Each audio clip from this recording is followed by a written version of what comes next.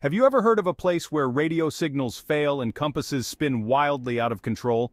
Welcome to the Zone of Silence located in the Mapimi Biosphere Reserve in Mexico, a place shrouded in mystery and intrigue. I'm here to take you on a journey through this eerie landscape where the laws of physics seem to bend and whispers of the unknown float through the air. Our story begins in the 1960s when a US missile test went awry, and the rocket landed in this desolate area instead of its intended target. This event sparked interest and led to the discovery of the area's strange phenomena.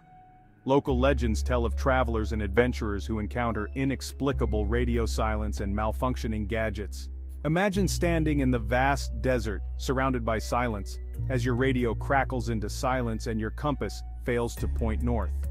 Interviews with locals and experts deepen the mystery.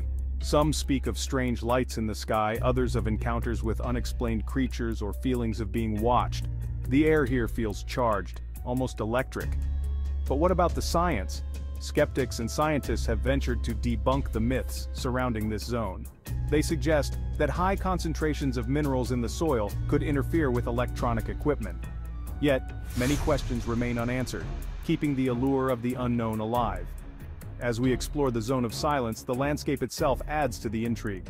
From towering cacti to rare wildlife, the area is not only a hub of anomalies but also a haven of natural beauty. In conclusion, the Zone of Silence remains one of Mexico's most mysterious places. Whether it's a playground of unexplained phenomena or a quirky quirk of nature, it continues to attract the curious and the brave.